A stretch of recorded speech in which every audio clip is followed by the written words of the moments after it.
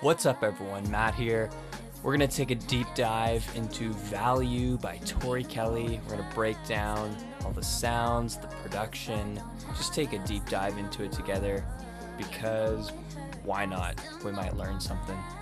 All right, so let's go through this thing intro, verse, chorus, verse. We'll go step by step and see how much we can break down on what's going on in the production.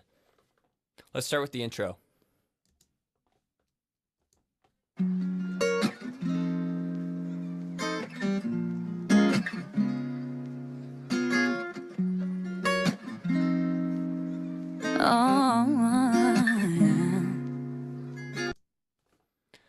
So, some cool stuff going on. It's pretty simple, but there's three things that I hear. First thing is the ambience, the background soundscape. It sounds like a park or something. I hear some kids' voices playing, um, something like that.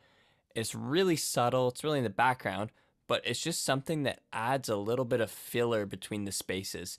Uh, it would sound a little empty if it was just guitar and, uh, you know, Tori's little vocal bit at the end there. So having the little soundscape in the background just adds a texture and adds some uh, ear candy, adds some filler in the background. The guitar is pretty simple. Um, sounds like there's a lot of room sound, uh, like intentionally. A lot of mids, probably around 1K ish.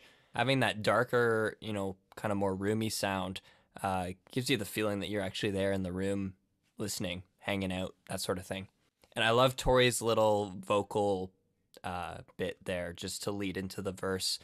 You know, totally a Tori thing, uh, just to have a little, you know, ooh vocal chop thing happening there. It's a nice little entry uh, instead of, you know, using like a reverse or something like that. Let's jump into the first verse now.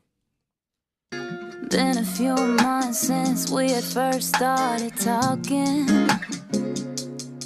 Guess it was all a big front, cause you were never trying to lock it down. All right, I'm gonna stop halfway through because there's some cool stuff happening in that first half, and some more cool stuff that's gonna happen in the second half. Let's continue on with vocals for a second. Vocals are really dry. There's, you know, maybe a little bit of reverb, if any, but I like the dry sound. Uh, it really plays in again to that chill sort of feel. Um, it's as if you know you're right in the room with them. It sounds like a really small room. If you have big lush reverbs, you know, long tails, that sort of thing, uh, it gives you the feeling that it's a little more spacious, um, maybe more majestic sort of sounding.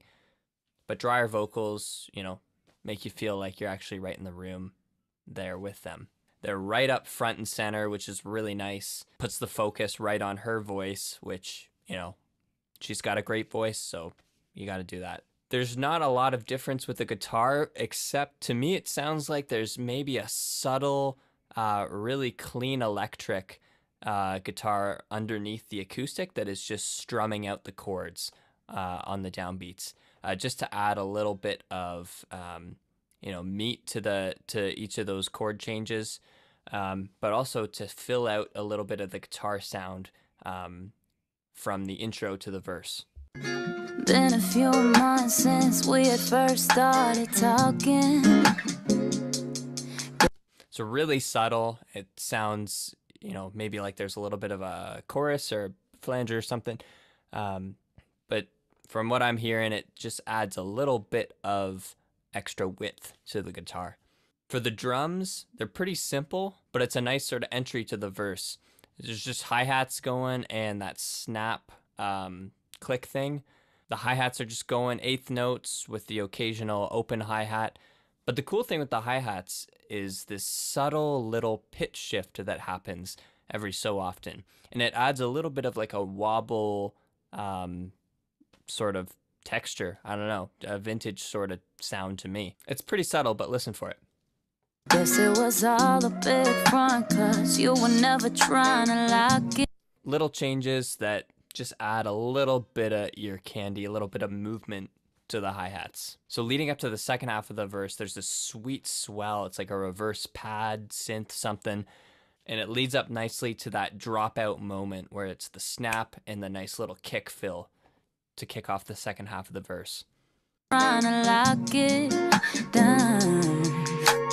Should've known better, you were a player from the start. I should've known better instead of giving you my heart. Yeah, you got some nerve saying we could still be friends. This is where our story ends. Cause you don't get to hurt me. Cool. So some cool stuff happening in that second half there as well. Major changes, obviously, bringing in the kick drum and the 808s for the bass line there. I love the space and um, the push and pull of the bass line. It sounds like there's a lot of glides happening um, in the 808 line and also some reverses that sort of uh, create these little swell moments and these push pull moments.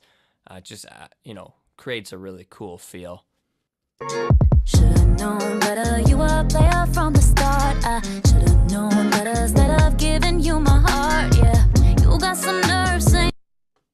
also love the delays as well.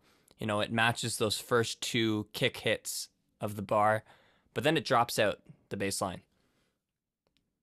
And then it comes back in with this cool descending line.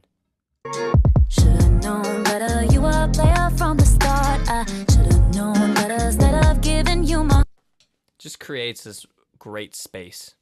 There's an added action as well on the hi hats. Every other uh, snare or snap, there's uh, this hi hat roll that sort of creates a bit of an accent. It also sounds like there's a second uh, snare layered under the snap click thing, uh, just to add a little bit more weight.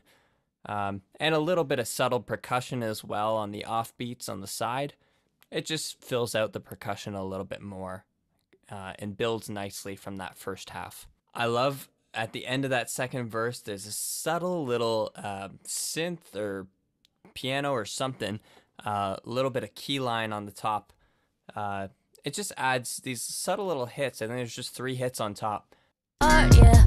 You got some nerve saying we could still be friends. This is where our story ends. Cause you don't get to, Then we've got that nice swell reverse leading us into this pre chorus here. To hurt me, then have me. You don't get to hold me, then leave me lonely. No, you were just a wolf in designer clothing. But lucky for me, yeah, lucky for me, I still know my So some cool stuff happening now with the vocals. We finally got some uh, doubles happening on the sides. That's just really widening the vocals. Um, it's a really nice contrast to the verse vocals. You don't get to hurt me, then have me. You don't get to hold me, then leave me lonely. No, you would.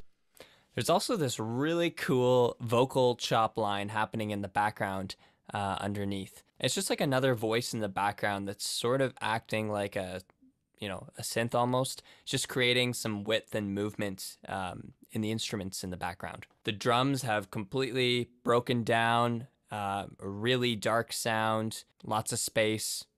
It's a good contrast from the verse. We're just a wolf in designer clothing. But lucky for me, yeah, lucky for me. There's a bit of a reverse synth thing happening for the chord changes now. It's a cool, you know, instrument texture change, and it, again, it adds to that, um, you know, a bit more flowing sort of feeling that's happening in the pre-chorus. So that leads nicely into the chorus here. Still know my value if I don't have you. Still know my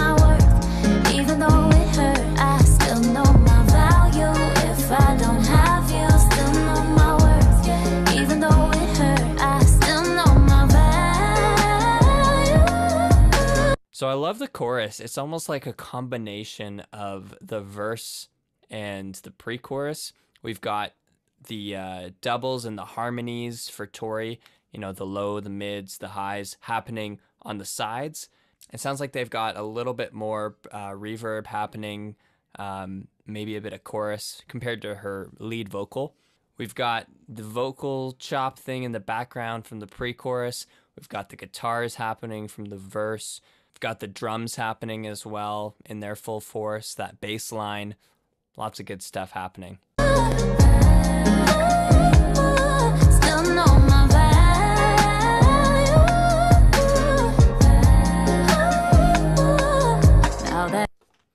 And so I love in that second half of the chorus there It's just that very nice background vocal line of value that just carries across the bars. Just creates a bit of like a vocal pillow almost for Tori to do her vocal freestyle ooh ah thing over top. Sounds great. I love this down pitched, almost like a tape stop sort of thing happening on the hi hat leading into the second verse. It's a really cool transition. It brings the high energy of the chorus right back down to the quietness of the beginning of the next verse. Now that I see the real, you realize that I dodged a bullet.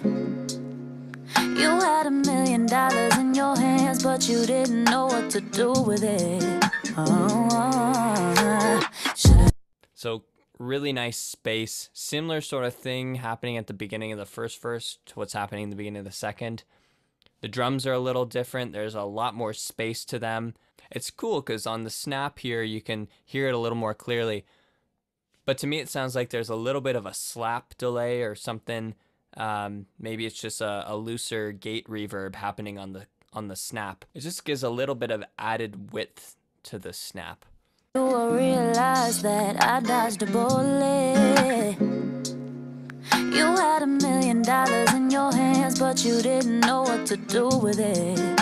Oh, should've known better. You were never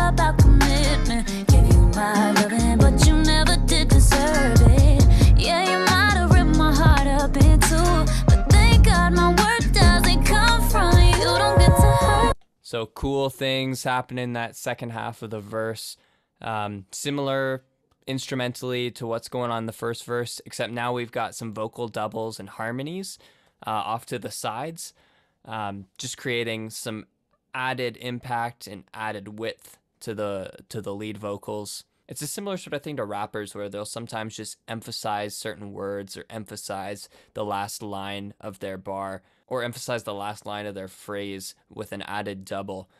But in this case, Tori's adding these harmonies and doubles out to the sides. Shout out to that subtle little key line on top. I don't know why I like it. It just is ear candy to me.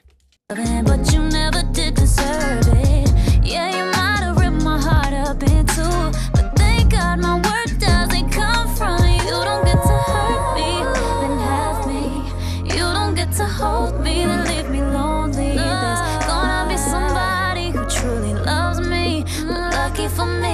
yeah, lucky for me. I still know my value. So really similar to that first pre-chorus, except now we've got this nice deep bass going on underneath. There's a little bit more happening vocally as well in her background vocals. don't get to hold me,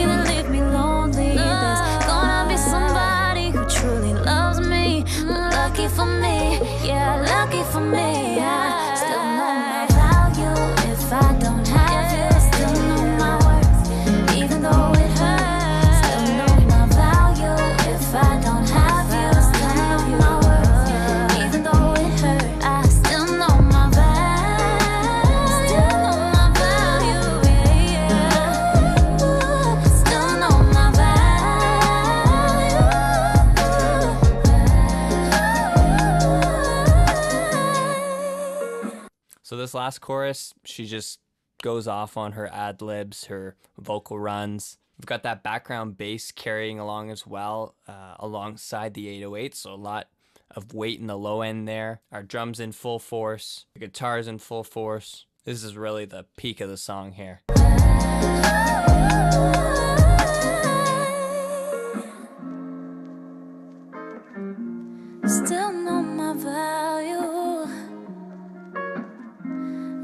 Just fine without you. So I love this little interlude here. It uh, drops down just to guitar and Tori. It's a little bit of a change vocally. She's got a really long plate happening on her voice here. Sounds like a pretty long pre delay, uh, really long tail. And it's just really the opposite of that small room sort of feel. It just opens things up. And gotta have that little chuckle as the transition for the outro here.